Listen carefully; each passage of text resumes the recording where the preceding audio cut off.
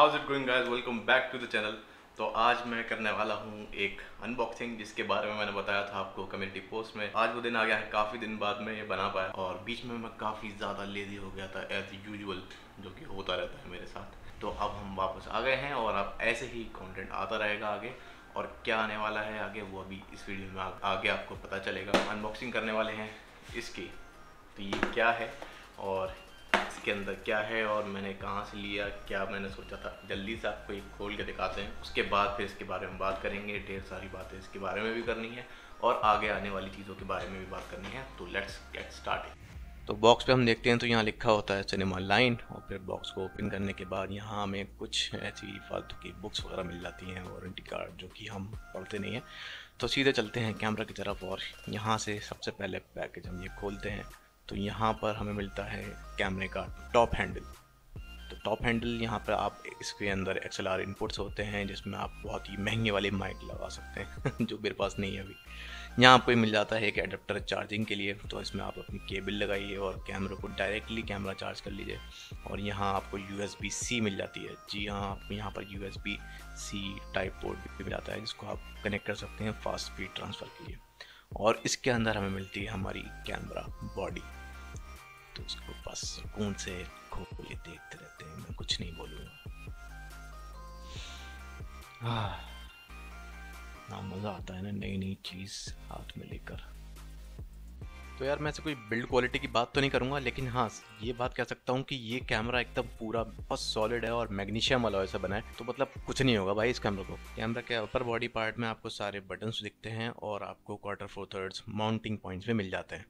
और आगे shutter button के पास आपको जूम रॉकर मिल जाता है, जिससे कि आपको जूम सपोर्टेड लेंस के साथ आप सीधे आराम से जूम कंट्रोल कर सकते हैं।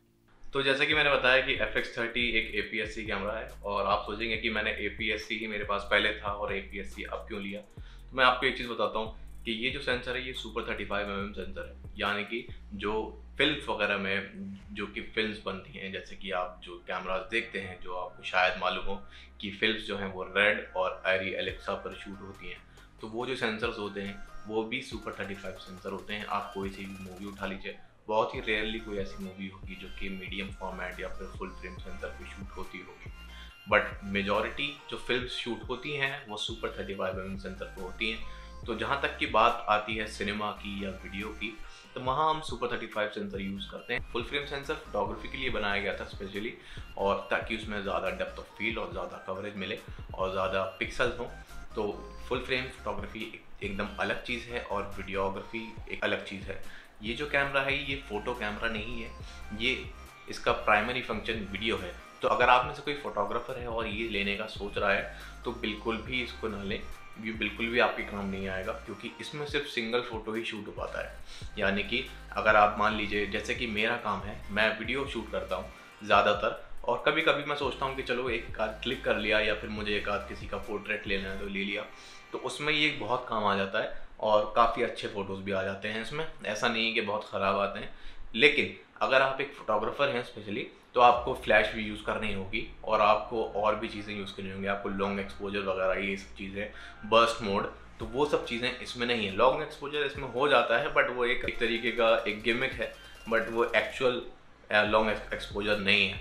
तो मैं सजेस्ट करूँगा कि अगर आप एक फोटोग्राफर हैं तो आप कोई दूसरे कैमरा के साथ चले जाएँ यानी कि सोनी ए सेवन फोर वगैरह के साथ। But Sony A seven four आप खैर, आप सोच रहे होंगे कि सोनी ए सेवन फोर भी ले सकता था, क्योंकि वो फुल फ्रेम भी है, उसका वीडियो भी अच्छा है और काफ़ी सारी चीज़ें हैं। बट मैं आपको सही सही बताऊँ तो उससे ज़्यादा इसमें फीचर्स हैं, अगर मैं सिर्फ़ वीडियो की बात करूँ, अगर हम सिर्फ़ सेंसर को हटा दें, जो कि इतना ज़्यादा इंपॉर्टेंट नहीं है। मैं आपको बताता हूँ कि इस कैमरा में जो कि वीडियो प्राइमरी कैमरा है और मेरा काम भी वीडियो का है तो ज़ाहिर सी बात है ये मेरे लिए ज़्यादा अच्छा रहेगा। इसमें स्पेशली अलग से बटन दिए हैं रिकॉर्ड करने के लिए। इसमें आपको बहुत सारे बटन दिए गए हैं जिसको आप अपने हिसाब से प्रोग्राम कर सकते हो।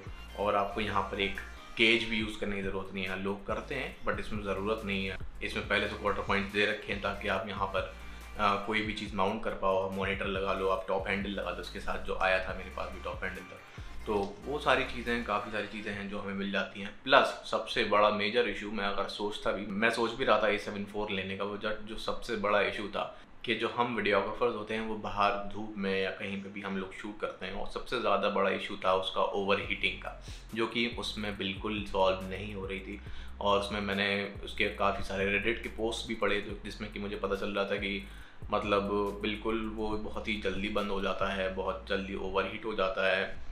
तो ये दिक्कत इसमें नहीं है, क्योंकि इसमें यहाँ पर फैंस दे रखे हैं, यहाँ पर। आप देखेंगे तो यहाँ पर एक वेंट है, और यहाँ पर भी एक वेंट है। तो इससे ये फ़ायदा है कि इसके अंदर से हीट निकलती रहती है और इसमें ओवर हीटिंग का इशू बिल्कुल भी नहीं होता। और सबसे बड़ा जो फ़ायदा मुझे था वो ये था फ्लिप स्क्रीन का। जैसे कि ये जो मेरा दूसरा कैमरा है तो वो चीज़ इससे नहीं हो पाती थी। तो मैं अभी जैसे इसमें खुद को नहीं देख सकता बट जब मैं इसको यूज़ करूँगा तो मैं बिल्कुल खुद को देख पाऊँगा। तो अभी हम देखते हैं, हम कैमरा स्विच करते हैं और देखते हैं कि क्या फ़र्क पड़ता है क्वालिटी पर। ध्यान रखें, ये एक 8 बिट कैमरा है और ये एक ये एक टेन बिट कैमरा है। और अगर इस पर आप मॉनिटर लगा देते हैं तो ये 12 बिट रॉ शूट कर सकता है, यानी कि 12 बिट प्रोरेज रॉ तो अभी यहाँ कैमरा स्विच करते हैं और फिर हम बात करते हैं। तो अब हो चुका है कैमरा सेट और ये जो अब आप सीन देख रहे हैं, ये उन्नीस एफ़ एक्स थर्टी से शूट हो रहा है और यहाँ पर आप काफ़ी ज़्यादा डायनेमिक रेंज में और काफ़ी ज़्यादा कलर्स में और डायनेमिक रेंज में फ़र्क देख पा रहे होंगे। और ये उससे ज़्यादा काफ़ी ज़्यादा शार्प है क्योंकि ये four K sixty F P S में शूट हो रहा है। तो यहाँ पर मुझे काफ़ी ज़्यादा एडवांटेजेस मिल जाती हैं उस कैमरा से जो कि ये था। तो इसमें स्क्रीन पूरी नहीं घूमती थी, बस ऊपर नीचे होती थी ऐसे। ये इसको फ्लिप स्क्रीन बोलते हैं बट ये जो स्क्रीन है, ये फुल्ली आर्टिकुलेटेड स्क्रीन है। और यहाँ मैं खुद को देख भी पा रहा हूँ, सारी चीज़ें एक्सपोजर वगैरह सब चीज़ दिख रही हैं। तो ये मेरे लिए काफ़ी ज़्यादा हेल्पफुल है। और मैं सही बता रहा हूँ भाई कि जब तक ये मेरे पास नहीं था, तब तक मुझे लगता था कि यार हाँ इसकी ज़रूरत नहीं है, और चल जाएगा, काम अपना चलता ही है इससे, और क्या ही करना है। लेकिन यार, जब से ये आया है ना मेरे पास, जब से मैं इसको यूज़ कर रहा हूँ, इतना सुकून है ना भाई, क्योंकि मैं यहीं बैठे बैठे अपनी सेटिंग भी कर लेता हूँ, क्योंकि इसके आगे भी बटन है रिकॉर्ड का। और इसमें इतनी सारी लाइट्स हैं, मुझे पता चल जाता है कि हाँ रिकॉर्ड हो रहा है। इसमें कुछ पता नहीं चलता था कभी कभी ऐसा होता था, मैं बोल दिया पाँच दस मिनट बैठ के बोल रहा हूँ और पता ही नहीं कि रिकॉर्ड हो भी रहा है या नहीं, क्योंकि मैं खुद को देख भी नहीं पा रहा। इसमें यार रेड बॉर्डर भी आ जाता है कि हाँ भाई रिकॉर्ड हो रहा है। तो मतलब काफ़ी ज़्यादा एडवांटेज है, इस कैमरा से काफ़ी ज़्यादा बड़ा जंप है। और फ्यूचर में एफ़ एक्स थर्टी पर हम काफ़ी ज़्यादा और भी वीडियोज़ लाएँगे, इसकी और भी अंदर डिटेल छानेंगे, इसके अंदर अभी कुछ काफ़ी चीज़ें ऐसी हैं जो हमें सीखनी है। और ये मतलब एक एक एक हिसाब से सही बताऊँ तो एक परफेक्ट कैमरा है, एक सिनेमाटोग्राफर के लिए अगर वो इंडिपेंडेंट सिनेमाटोग्राफर है तो ये बहुत अच्छा कैमरा है उसके लिए।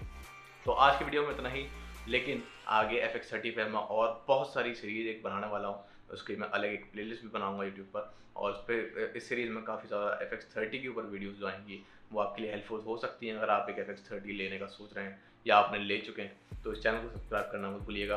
तो अभी चलते हैं, मिलते हैं आपसे नेक्स्ट वीडियो में। तब तक के लिए बाय